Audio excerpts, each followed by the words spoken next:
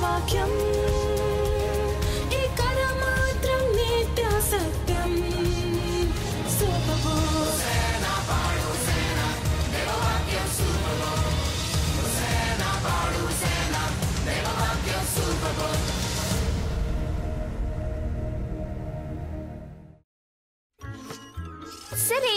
మంచి పిజ్జా మరొకటి లేదంటావు. ఓ చాలే పోయిన సమ్మర్లో స్కేట్ బోర్డ్ పార్క్లో ఒక బండి దగ్గర పెప్పరోని పైనాపిల్ పలూజా మొత్తం నేనే తినేశాను. ఫుట్బాల్ ఆట బాగుంది. ఈ సీజన్లో ఇది రెండోది. ముగింపుకి ఇంకా నాలుగు సెకండ్లే ఉన్నాయి. ఈ హెడర్ చూడు ఎలా ఉంటుందో. వావ్! ఈ కార్ ట్రిక్ భలే ఉంటుంది. రెడీనా? నాకు కావాల్సిందల్లా ఇంకో పద్నాలుగు ప్యాక ప్యాకెట్లు ముప్పై కేజీల ఈకలు ఓ నిప్పి కోడిగుడ్డు కేస్మౌ మన దగ్గర అవేవి లేవు. అలా అయితే మరో కార్ ట్రిక్ చూద్దాం. అరే వద్దు. చెప్పాలంటే ఇది అంతగా పనిచేయడం లేదు. ఇక దీన్ని మర్చిపోద్దాం. సూపర్ బుక్ యాత్రలన్నిట్లో ఓ నిజమైన సూర్యుడిని కలుసుకున్నదే ఉత్తమమైనది. దావీదు మరియు గోలియాతు ఉత్తమ సూపర్ బుక్ ప్రయాణం అంటే అగ్ని కత్తులు ఉన్నదే. వావ్ నా దగ్గర నిప్పు కోడిగుడ్డు ఉంటేనా? గుర్తొచ్చింది. పరలోకంలో మైకిల్ లూసిఫర్ మధ్య జరిగిన యుద్ధం. నేను చెప్తాను. అన్నిటికంటే ఉత్తమ సూపర్ బుక్ ప్రయాణం. అందులో ఏముంది? ఏమీ లేదు. సూపర్ బుక్ సాహసాల్లో అన్నిటికంటే గొప్పది అతి ప్రాముఖ్యమైనది. ఏదనుకుంటున్నారు? వావ్ నువ్వు ఆలోచించు జాయ్. మనం సూపర్ బుక్తో చేసిన ప్రయాణాలన్నిట్లో ఎప్పుడైనా గొప్పదైన ప్రాముఖ్యమైన ప్రయాణం చేసామంటావా సూపర్ బుక్తో అత్యద్భుత సాహసమా? ఇంకా మనం చూడలేదేమో?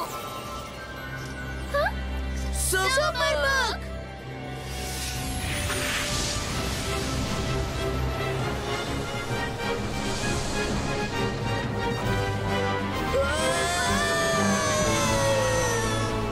మీకు కొన్ని సంఘటనలు చూపించడానికి తీసుకుని వెళుతున్నాను. చరిత్రలో వెతికితే అంటే దేవుడు భూమి మీద మనుషులను సృష్టించినది మొదలు. ఇప్పటిదాకా ప్రపంచం ఆ చివర నుంచి ఈ చివరకు వెతికిన అలాంటి గొప్ప అద్భుతాలు ఎవరు విని ఉండరు చూసి ఉండరని మీరు తెలుసుకుంటారు.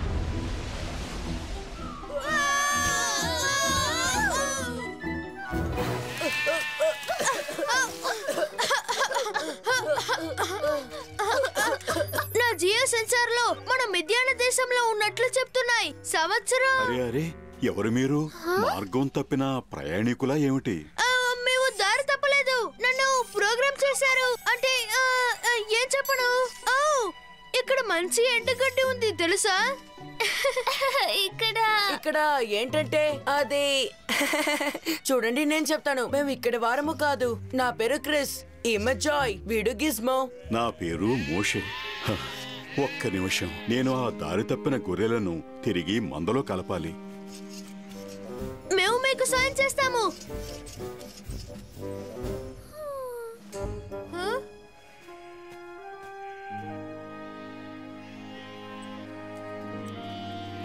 మీ సహాయానికి వందనాలు పిల్లలు. ఇది చాలా రమ్యమైన దేశం. మీరు చాలా కాలం నుండి ఇక్కడే ఉంటున్నారా మోషే గారు? చాలా సంవత్సరాలుగా ఈ మిద్యాను దేశంలో ఉంటున్నాను. అయితే అంతకు ముందు ఎక్కడ ఉండేవారు ఐగుప్తులో ఉండేవాణ్ణి. అక్కడ ఫరో కుమారుడిగా పెరిగాను. ఎవరు? ఫరోనా? అంటే ఐగుప్తు రాజు ఫరోనా? అవును. అయితే మునపటి ఫరో కాలంలో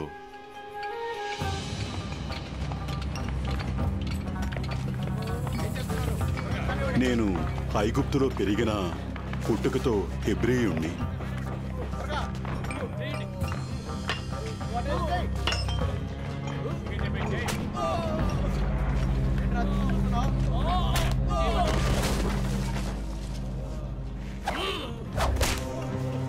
ఒకసారి ఐగుప్తులో ఒక అధికారి ఒక బానిసను కొట్టడం చూశాను.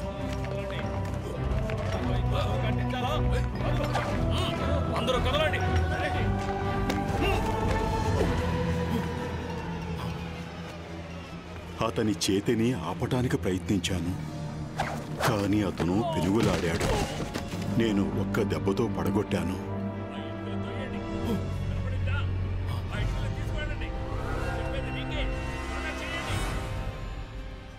అది వేరే జీవితం. ఇక్కడ ఈ మిథ్యాను దేశంలో నాకు అండ దొరికింది. చాలా సంవత్సరాలుగా నా కుటుంబంతో ఈ మందలను కాచుకుంటూ సంతోషంగా జీవిస్తున్నాను.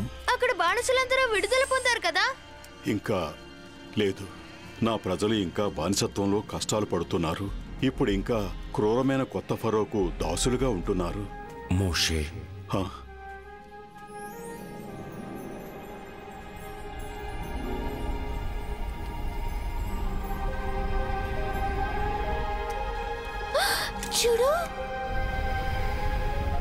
మోషే. మోషే. ఇక్కడే ఉన్నా. దగ్గరకు రావద్దు. నీ పాదముల నుండి నీ చెప్పులు విడువుము. నీవు నిలిచి ఉన్న స్థలము పరిశుద్ధ ప్రదేశము. నేను నీ తండ్రి దేవుడను అబ్రహాము దేవుడను ఇస్సాకు దేవుడను యాకోబు దేవుడను. నేను ఉన్నవాడను అనువాడను. మోషే ఆ మొక్కతో మాట్లాడుతున్నాడా?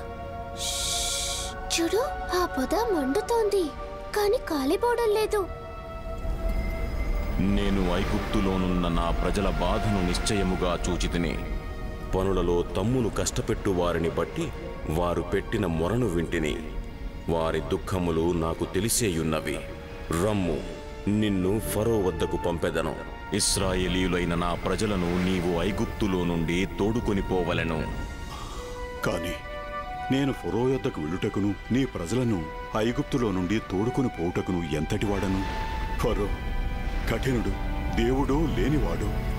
అతను నా మాట ఎందుకు వింటాడు? నేను నీకు తోడయ్యుందును. నేను నిన్ను పంపితులనుటకు ఇది నీకు సూచన. నీవు నా ప్రజలను ఐగుప్తులో నుండి తోడుకుని వచ్చిన తరువాత మీరు ఈ పర్వతము మీద నన్ను ఆరాధిస్తారు. కాని కాని వారు నన్ను నమ్మకపోతేనో లేదా నా మాట వినకపోతేనో? ఒకవేళ వారు దేవుడు నీకు ప్రత్యక్షము కాలేదు అంటే? నీ చేతిలోనిది ఏమిటి? కాపరి కర్ర. నేలను దాని పడవేయము.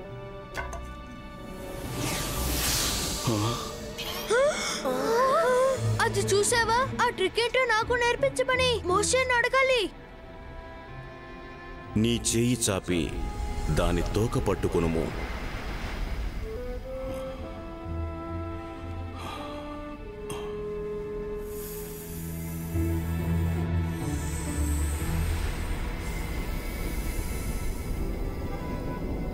ఓ ప్రభువా ఇంతకు మునుపైనను నీవు నీ దాసునితో మాటలాడినప్పటి నుండైనను.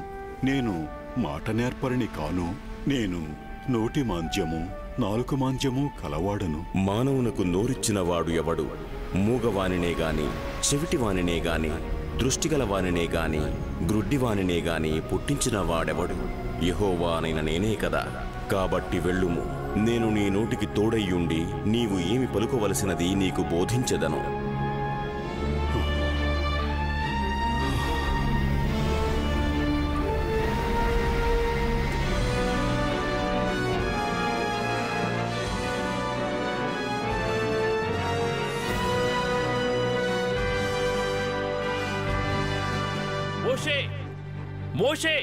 అహరోను నా సహోదరుడా. ఓహో నిన్ను మళ్ళీ చూడటం చాలా సంతోషం. ఒక అద్భుతమైన విషయం జరిగింది. ప్రభువు నాతో మాట్లాడాడు. వెళ్ళి నిన్ను కలుసుకోమని చెప్పాడు. దేవుడు నాతో కూడా ఐగుప్తుకు వెళ్ళి తన ప్రజలను విడిపించమని చెప్పాడు. దేవుడు నాకు చెప్పిన పనిని చేయలేనేమోనని భయం వేస్తోంది.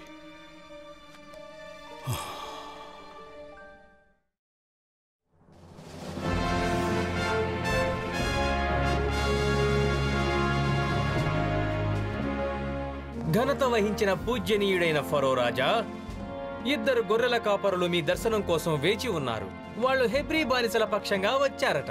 వారిని పంపివేయినా? వద్దు. తమాషాగా ఉంది. వాళ్ళను ప్రవేశపెట్టు. ఫరో రమ్మని ఆజ్ఞాపిస్తున్నారు. దయచేసి మీ కాళ్ళ మట్టిని రాజమందిరంలోకి తేకండి.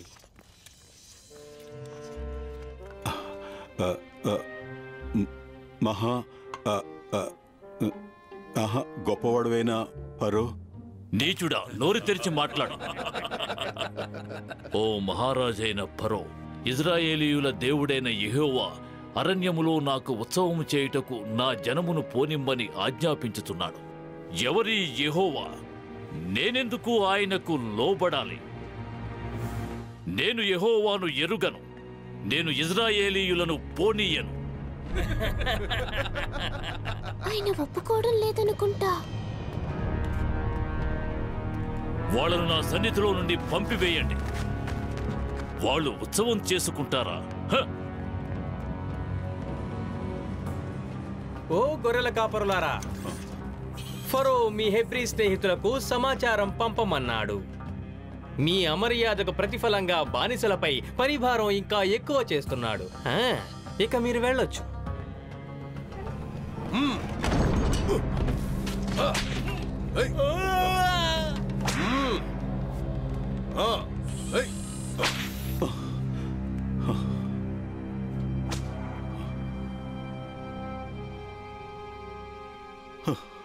ప్రభువా నీ వేళ ఈ ప్రజలకు కీడు చేసేతివి నన్నేల పంపితేవి. ఫరోకు నేను చేయబోవుచున్న దానిని నీవు నిశ్చయముగా చూచెదవు. బలమైన హస్తము చేత అతడు వారిని పోనిచ్చును. బలమైన హస్తము చేతనే అతడు తన దేశము నుండి వారిని తోలివేయను. మరలా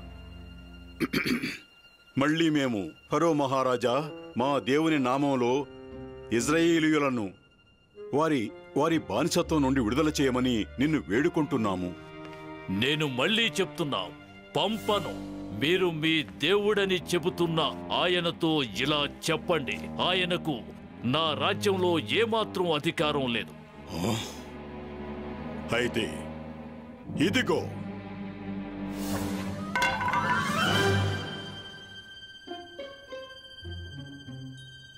నేను కూడా నా పేక ముక్కలతో మ్యాజిక్ చేస్తాను.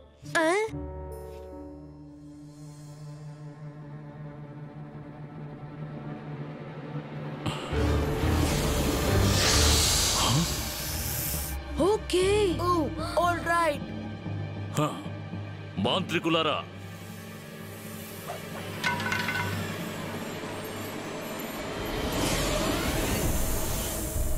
Oh. నా దగ్గరుండే మాంత్రికులు కూడా మీ దేవుడు చేయగలిగింది చేస్తాను.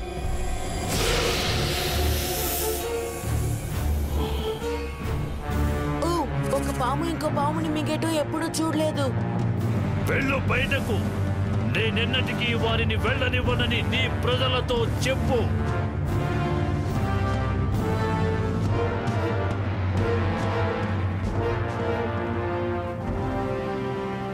ఫరో హేబ్రియుల దేవుడైన యోహోవా నన్ను నీ యొద్దకు పంపి ఇలా చెప్పమన్నాడు. అరణ్యమందు నన్ను సేవించుటకై నా ప్రజలను పోనిమ్ము. మీకు మళ్ళీ చెప్తున్నా మోషే నా సహనాన్ని పరీక్షించవద్దు.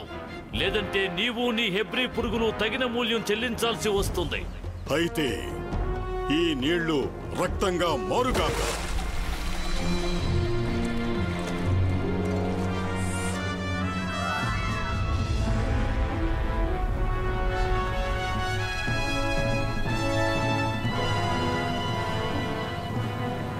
ఈ రోజు నేను రాజమందిరంలో స్నానం చేస్తా.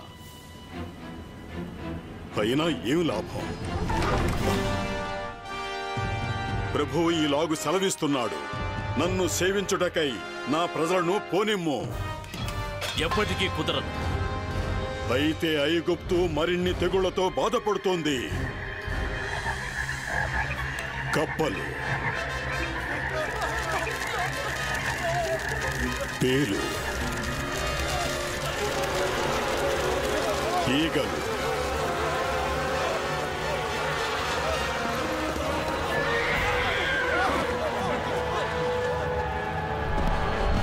పశువుల తెగులు. గడ్డలు.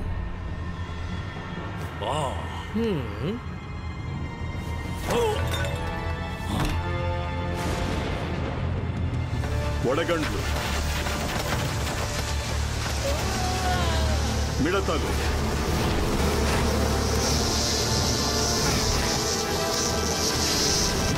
వద్దు వద్దు వద్దు. ఓ అత్యంత బలమైన రా. నిత్య సూర్యుడగు దేవుడా. ఈ గొర్రెల కాపురుల దేవుడు పెడుతున్న బాధల నుండి మమ్ములను కాపాడు.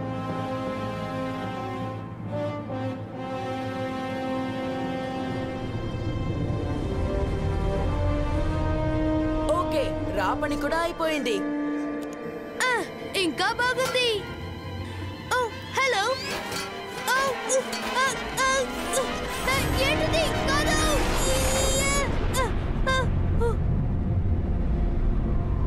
నేను ఫరో మీదికిని ఐగిప్తు మీదికిని ఇంకొక తెగులును రప్పించెదను.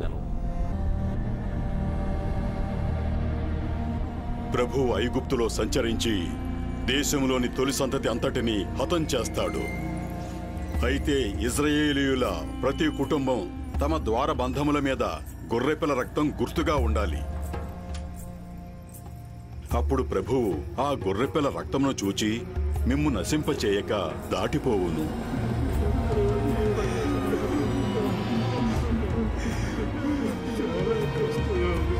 ఫరో యొక్క తొలి సంతానం కూడా హతమవుతుంది. వద్దు! వెళ్ళిపో. నా ప్రజలను విడచి ఇజ్రాయేలీయులందరినీ తీసుకొని వెళ్ళిపో.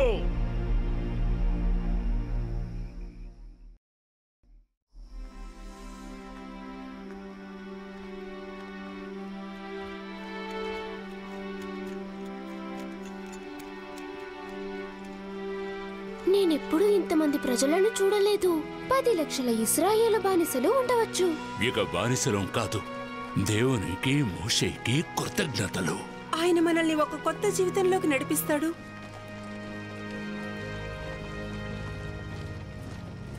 మహాశక్తివంతుడా ఇజ్రాయేలీయులను ఎందుకు పోనిచ్చావు? బానిసలు ఫరోకి ఆజ్ఞలు జారీ చేయకూడదు. వాళ్ళు చేసిన దానికి శిక్ష అనుభవించాలి.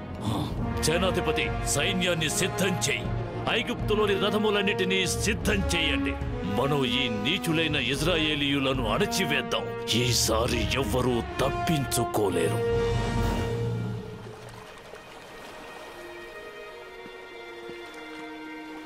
మధ్యలో ఎర్ర సముద్రం ఉంటే దేవుని పర్వతానికి ఎలా వెళ్ళగలం? మోషేకు మనలని ఎక్కడికి తీసుకువెళ్ళాలో తెలుసు కాబట్టి ఎలా వెళ్ళాలో కూడా తెలుసుకొనే ఉంటాడు. మోషే ఫరో తన సైన్యంతో కూడా వస్తున్నాడు.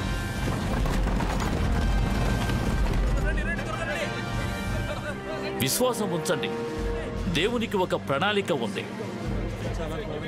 మీకు మీకు దేవుని ప్రణాళిక ఏమిటో తెలుసునా మోషే?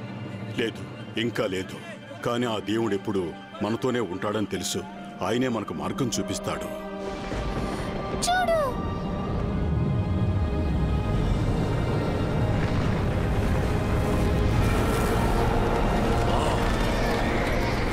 జరుగుతోంది. ముందుకు వెళ్ళండి. వాళ్ళు ఎర్ర సముద్రం దగ్గర దొరికిపోతారు. మోషే నీవెలా నాకు మొరపెట్టుచున్నావు? సాగిపోవుడి అని ఇజ్రాయిలీలతో చెప్పుము. నీవు నీ కర్రను ఎత్తి ఆ సముద్రము వైపు నీ చేయి చాపి దాని పాయలుగా చేయుము.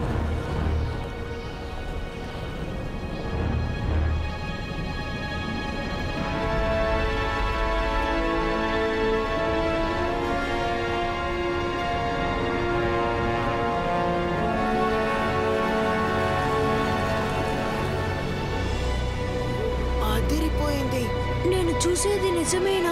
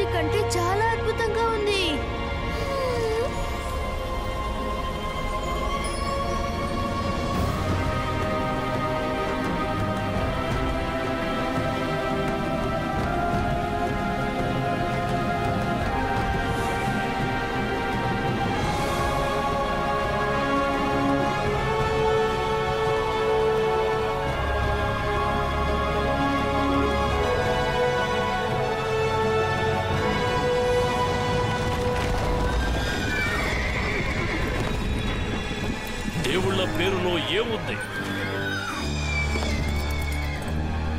ఎందుకు వేచి చూస్తున్నారు? వారి వెంట పడండి!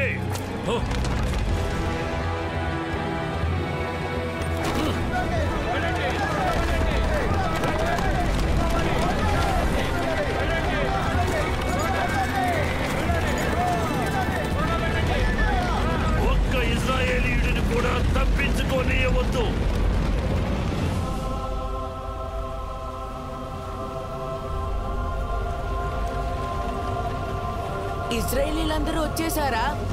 వచ్చారనుకుంటా. అదిగో ఫరో సైన్యం వస్తుంది.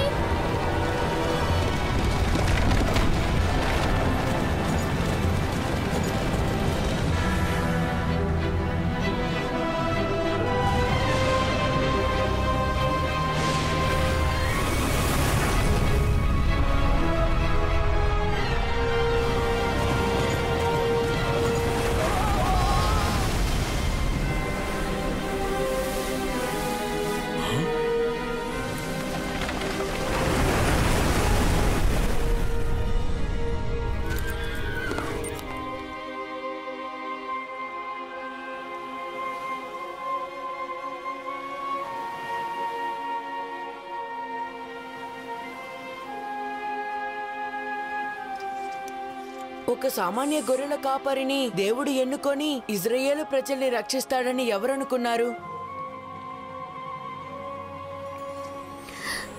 క్రిస్ మళ్ళీ మనం వెనక్కు వెళ్ళిపోతున్నాము.